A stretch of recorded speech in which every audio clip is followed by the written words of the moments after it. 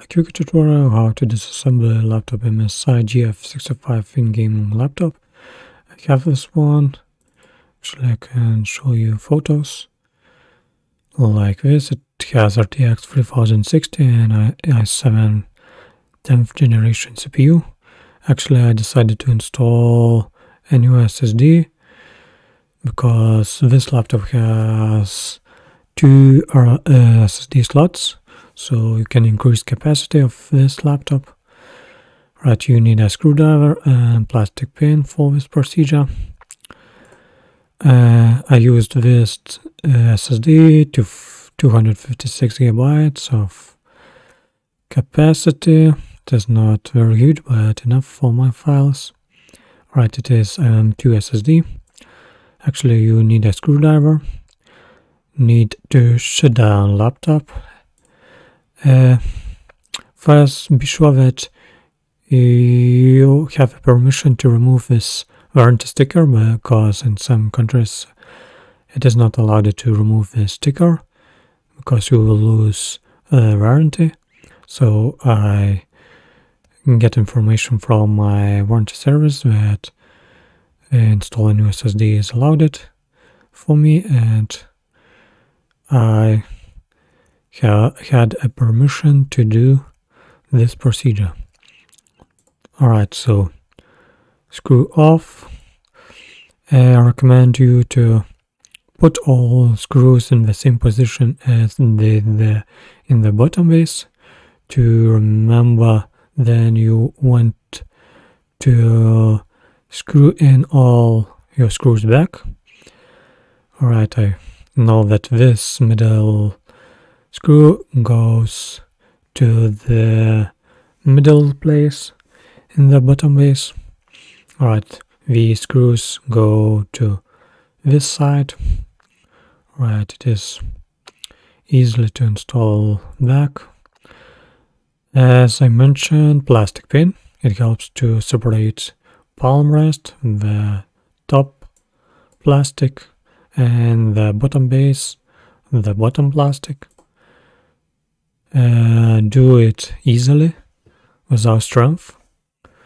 I started from the front, so actually from the screen side.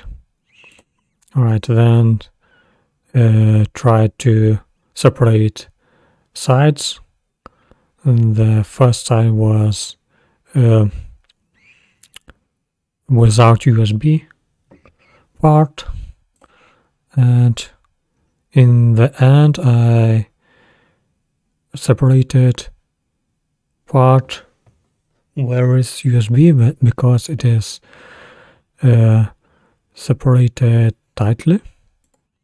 Actually before this part you, you need to separate uh, the end part so there is a heatsink.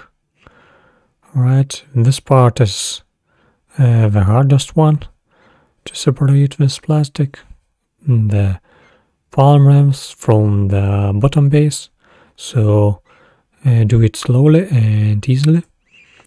Alright, so then you remove bottom base, you can see this view.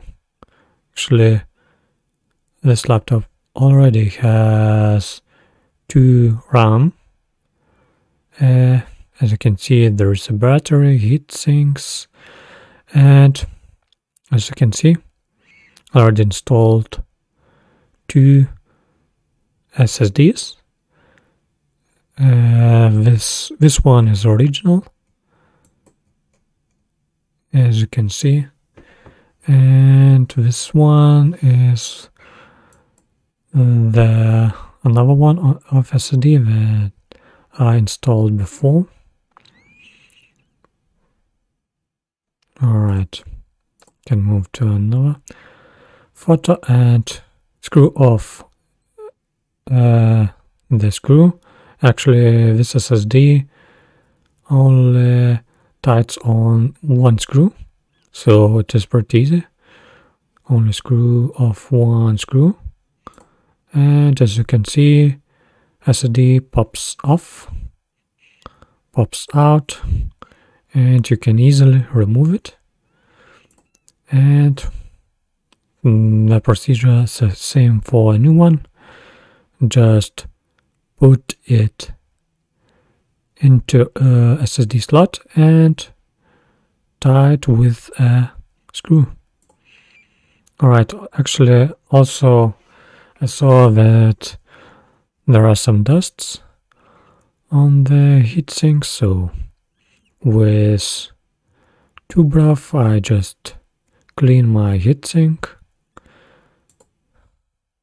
like this one. As you can see, there there are some dusts, so I recommend to do this procedure. Right, as you can see, there are no dusts. Alright, and after installation, just checked with hard disk Sentinel if everything goes well. So see Kingston Micro Micron SSD are working well. So thank you for watching and see you next time.